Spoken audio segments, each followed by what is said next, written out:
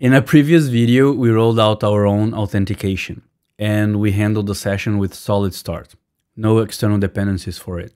This time, we're going to add single sign-on using MediaKit Auth. Single sign-on or SSO is a method that allows a user to log into multiple services using a single set of credentials. So you can see that in a lot of websites with the social logins and the one button clicks to get you authenticated to, the, to a system. So today we're going to, to do that and we're going to use MediaKit Auth that's going to help us implement that and offers a bunch of providers. MediaKit Auth uses under the hood Auth.js, which some of you may have known as NextAuth. It's a very robust authentication library that has a bunch of providers for us to choose from. And in this case, we're going to use GitHub as our authentication provider and we're going to add that to a solid start app.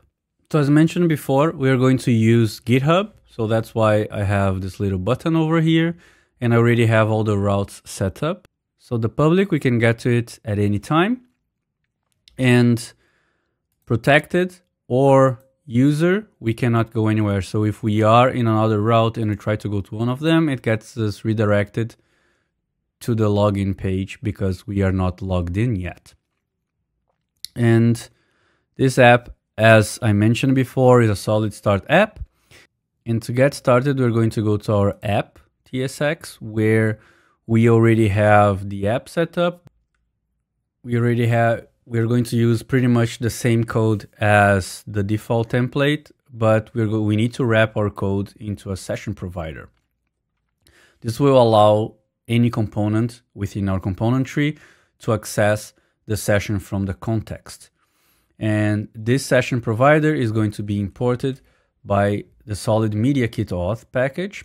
With that, our session is available whenever it's present. The other step will be then to create the options that we need for auth.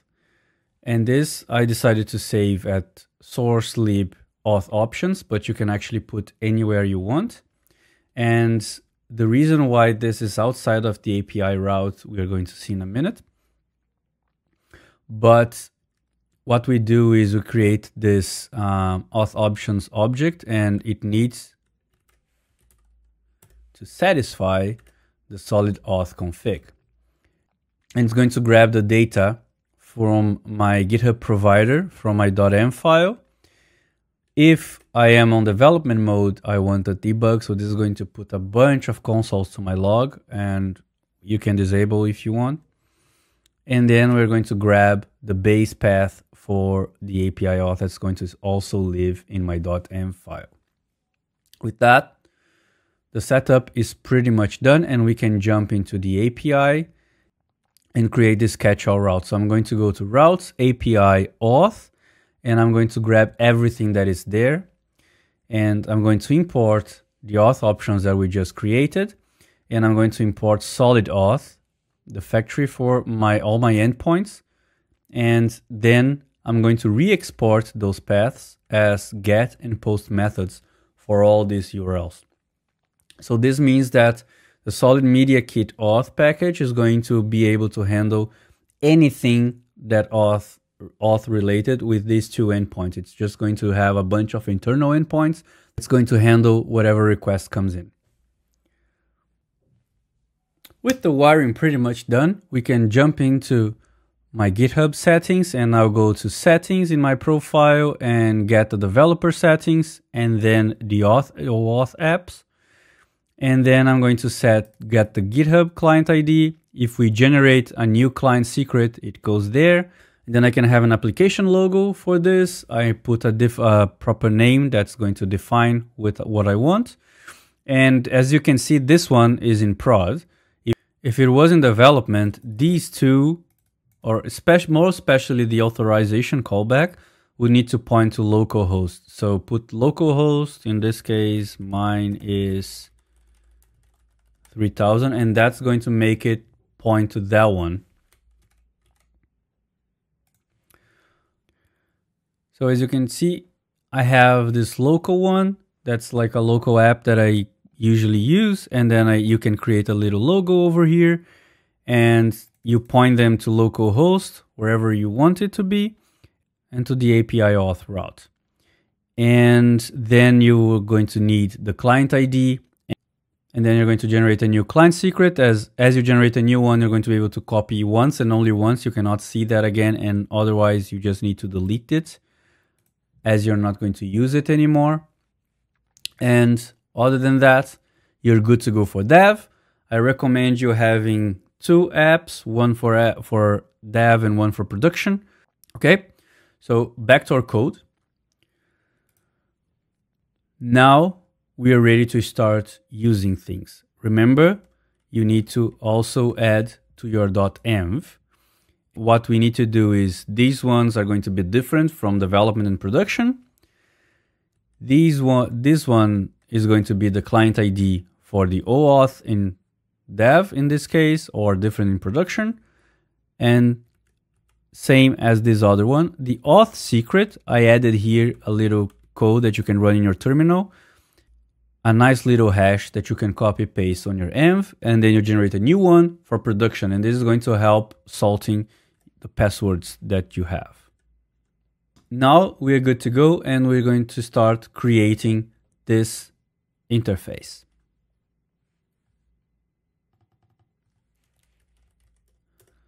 So my index route is, is quite basic.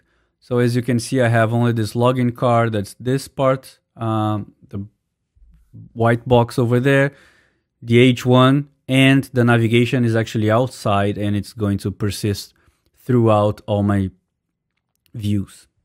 So to the login card, I have a bunch of stuff that are coming from Solid UI, and I have a hard-coded icon from SVG.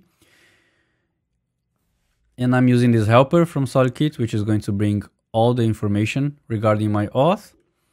And so I'm going to use the card from Solid UI. And in my button, all I need to do is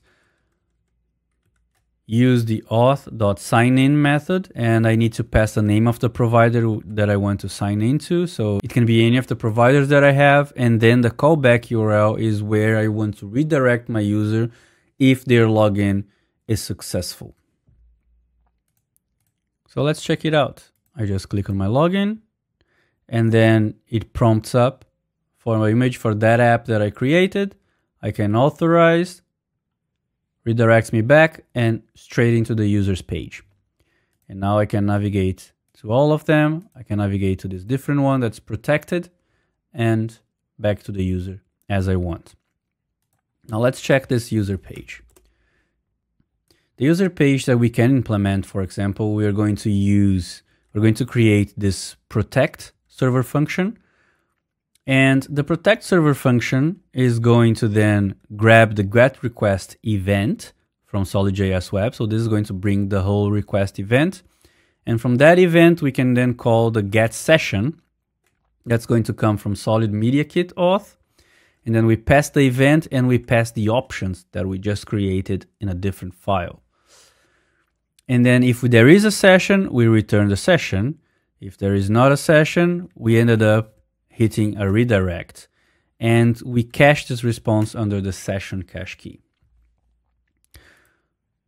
So whenever this page is about to load, I have in my preload function the protect, which is then going to return this. And as a result, my component can grab it from the create async.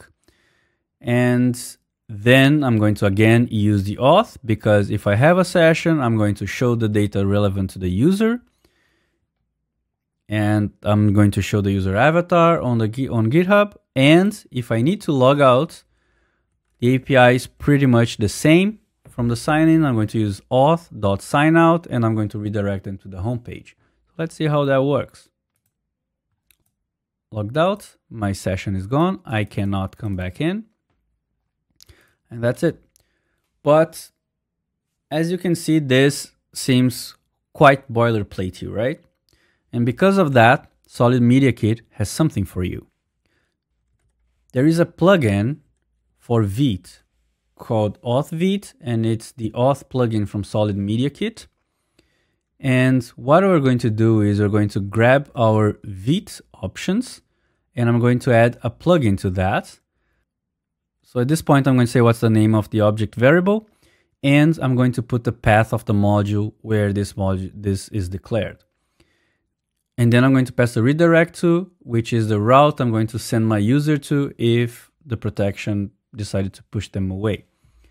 And with this, I can go to my protected route. Instead of writing all that logic, what I can do is just use as a higher order function and pass the protected with this dollar sign over here. And this is going to receive the session as a parameter. And as you can see, I cannot have any create async and stuff like that in this place. And I can just straight up use it and it's well typed in this case. So what this is going to do is during the Vite bundling and building process, it's going to basically expand this code and transform it to what we wrote by hand. But now we don't need to. And then as a second parameter of this protected route, I can pass something here as well. So I can decide on a component per component basis where I want to go. And so just to demo this again, I'm going to go to my login and instead of sending them to user, I'm going to send people to protected. And now I can log in and I go to protected. Both routes work in the same way. And if I log out from one, of course, I'm logged out from the other one and so on. And as you can see, I didn't got prompted by GitHub because my account already authorized. So I can just log in or log out, but my GitHub account has already authorized this app to have my data. And with this, we are good to go. And as your app grows, you can start adding as many providers as you want with just a simple clicks and you just add a new button, you make a new OAuth app in whatever provider you want and pass the right credentials. So I hope you have enjoyed it and realized that an external library to handle the authentication just lifts a lot of abstractions out of your shoulders and that allows your code base to be a little bit leaner. As long as you know what the library is doing under the hood, it can be a lifesaver. Let me know in the comments below what you thought about this one and if you have any feedback, comments, or requests for a next video. Otherwise, I'll catch you on the next one. Bye.